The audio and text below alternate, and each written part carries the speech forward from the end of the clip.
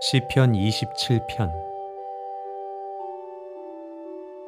여호와는 나의 빛이요 나의 구원이시니 내가 누구를 두려워하리요? 여호와는 내 생명의 능력이시니 내가 누구를 무서워하리요? 악인들이 내 살을 먹으려고 내게로 왔으나 나의 대적들 나의 원수들인 그들은 실족하여 넘어졌도다 군대가 나를 대적하여 진칠지라도 내 마음이 두렵지 아니하며 전쟁이 일어나 나를 치려 할지라도 나는 여전히 태어나리로다. 내가 여호와께 바라는 한 가지 일 그것을 구하리니 곧 내가 내 평생에 여호와의 집에 살면서 여호와의 아름다움을 바라보며 그의 성전에서 사모하는 그것이라 여호와께서 환난 날에 나를 그의 초막 속에 비밀히 지키시고 그의 장막 은밀한 곳에 나를 숨기시며 높은 바위 위에 두시리로다.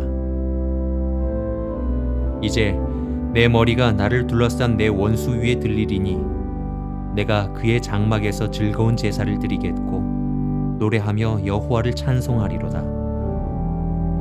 여호와여 내가 소리내어 부르짖을 때에 들으시고 또한 나를 긍휼히 여기사 응답하소서.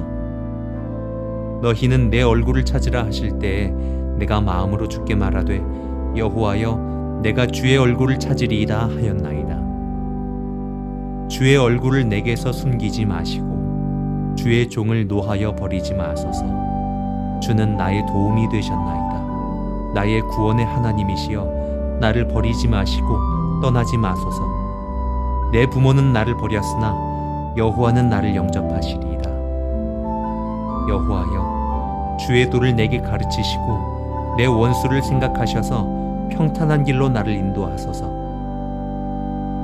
내 생명을 내 대적에게 맡기지 마소서.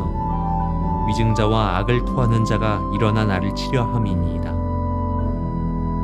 내가 산자들의 땅에서 여호와의 선하심을 보게 될 줄 확실히 믿었도다. 너는 여호와를 기다릴지어다. 강하고 담대하며 여호와를 기다릴지어다.